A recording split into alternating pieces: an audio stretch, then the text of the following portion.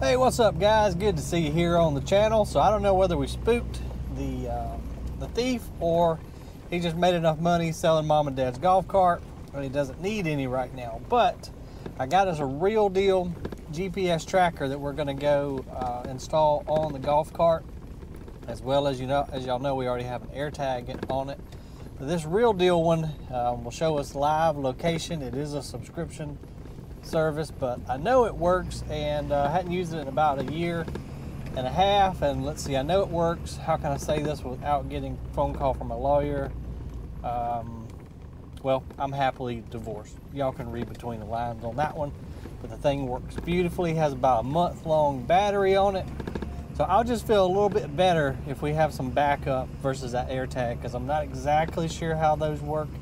Read some um, a few articles that kind of contradict themselves, and I'm just a little worried. I definitely just do not want to make the video to where I look like a huge complete idiot using my golf cart for bait, and now it's gone, and I have no idea where it is. So let's go up the back hill or up the back road. It's five o'clock, so everybody should be done quit and gone. That way we can keep this kind of quiet between us. And we'll put the new GPS on it. I'm gonna move it around a little bit because, um, you know, I just don't want them to think that it's, you know, what it actually is, which is bait. So I'm gonna move it around a little bit just to make it look like we're using it and just make it look a little as, as, as natural as possible. So we're almost there. Let's go set this thing up. So this is the new GPS tracker. I'll put a link to the in the description below if you have interest in one of these, but this thing is about $400. I'm not gonna open it up because there's a battery in there. And as soon as I open it up, the battery's probably gonna fall out and I've got it all set up through uh, their website. So you can set parameters up if it leaves a circle or enters a circle. It's really pretty dang cool. And it's got this giant magnet on the back of it and it, uh, it stayed on the car for quite some time. So I don't see why it wouldn't stick to this golf cart. Then we're just going to get up under here and see if we can find us a spot to hook it that's kind of concealed. Let's see, I don't want it to interfere with any of the brakes or nothing. But once that joker sticks on there, man, it's hard to even pull off. We're gonna run through a mud puddle too maybe to uh, disguise it a little bit. But it kind of looks like part of the golf cart, so I think it'll be good. And hopefully y'all saw all of that and dropped my microphone too. But I really couldn't see under there. so it was a tight fit. So sorry if y'all couldn't see where I put it. But uh, let's see. It's right, right there. So I guess let's go ahead and upload our fake load of wood. And I think we'll take it around to an area where they got that um, billy goat blower from the other night. A lot of tools and stuff still around at that area. So I feel like we'll have a better chance of them visiting that little tool area versus over here again. And, and like I said too, it'll make the golf cart seem like it's actually being used up here for work. So let's ride around there and get her set up. I'm going to take the camera that I had right over here. I think later.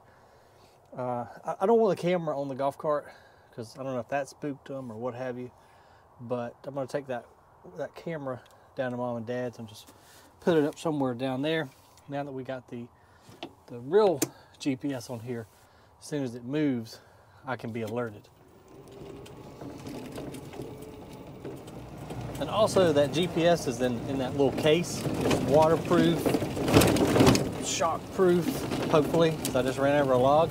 I'm gonna run up a mud, run through a little mud puddle up here so we can camo it a little bit.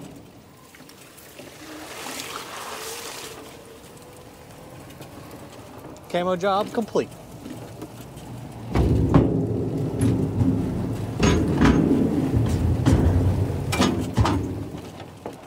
Here's the little tool area I was telling you guys about. We know he came over here. The blower was right over there by that shed. So let's go ahead. Let's see, where would be the best spot to put this thing? Tell you what, if I were coming up here to get in one of the vehicles, I would probably just park her right here. So that's what we're gonna do. And normally what I would do at home is just put the key down in this little cup. So to make it a little less bait-like, we'll go ahead and do that. But, you know, the dude came, like I said, right to that shed right yonder. He's walked all around this place up here. So this should stick out. Maybe he would just think we just parked it over here and forgot it. We shall see. Now again, the only sucky part is we gotta walk. We did have one incident last night that was a little out of the ordinary. I don't know whether it was coincidence or not, but some of the folks were here working late and the alarm went off over at the scale house. No doors were open, so I don't know whether a mouse ran through or whatever. But I ran up here. Uh, but before I got here, the folks that were working said that a truck pulled up out there by the gate, saw them, squeal wheels, and took off. So maybe that was our guy coming back to get the billy goat blower and uh, he just came a little early. So maybe he got spooked. Hopefully he'll be back tonight and I'll be a lot less worried with that uh, US fleet tracker on the golf cart versus that little air tag. And here's his tracks when he did get that billy goat, billy goat blower. You can see it had one flat tire. Tracks kind of disappear there because the loader's been working back here all day. See here it is again.